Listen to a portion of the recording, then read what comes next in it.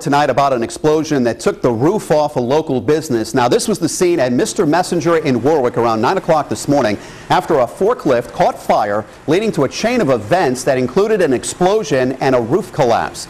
Eyewitness News reporter Neka Nwosu joins us now from the scene with the West Bay Mobile Newsroom.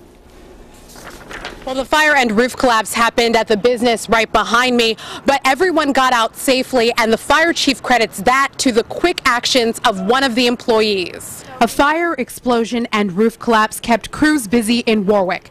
The chief says it happened around 9.30 this morning at Mr. Messenger, a courier company on Laven Street. And what happened is the forklift operator reported that there was a fire in the forklift that was impinging on the propane tank that they use for the fuel, and the propane tank blew up and it lifted the roof right off this building and dropped it right down. The roof collapse was so large and loud, people nearby heard it and felt it. Uh, we're down at the ADT building and the whole building shook. Felt like a bomb went off.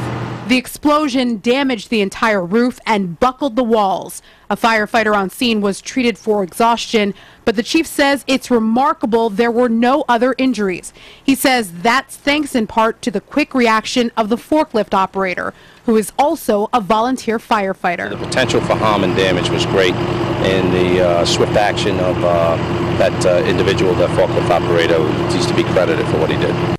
And at this point, the fire is still under investigation, but the chief tells us he does believe the fire originated in the engine of that forklift. With the West Bay Mobile Newsroom in Warwick, I'm Neka Nwosu, Eyewitness News.